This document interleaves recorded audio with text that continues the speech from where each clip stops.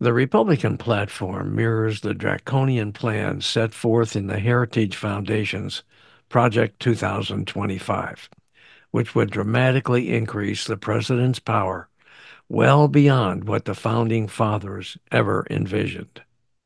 In a new series of articles, Lean to the Left writers C.J. Waldron and V. Susan Hutchinson explore how allies of Donald Trump hope to increase the power of the presidency, eliminate career government positions, fire government employees who disagree with Trump, and cede regulatory responsibilities to the individual states, ignoring the Articles of Confederation.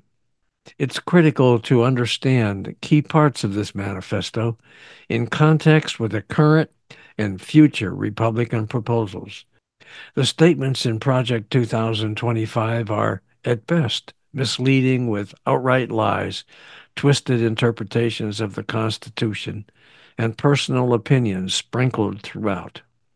What's at stake? Well, if you care about reproductive rights, they attack those.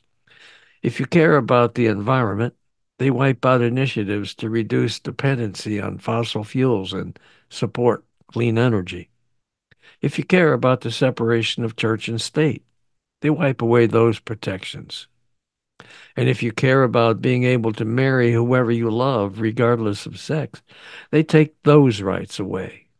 And those are just a few of the issues attacked by Project 2025.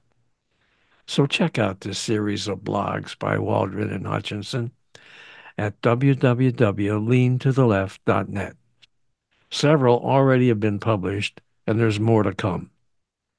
Be an informed voter and help stop Project 2025 in its tracks. This is Bob Gatty from Lean to the Left.